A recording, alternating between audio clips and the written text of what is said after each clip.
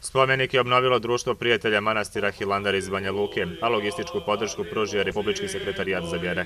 Prema najnovijim istraživanjima, 7. februara 1942. godine, pripadnici garde Ustaškog poglavara Ante Pavelića ubili su 65 rudara, a u pokolju u salima Motike, Šargovac i Drakulić ubijeno je 2300 Srba. Dao Bog da se na neki način vratimo sebi, da se pominjući tih žrtava na dostojanstven način stvarno prisjetimo svega onoga što su ti ljudi prošli kroz vijekove, što smo mi kao narod proživjeli kroz vijekove i da to bude nešto što će nas zbližiti, što će nas ujediniti, da ne doživljavamo ponovo ovo što smo doživjeli do sada.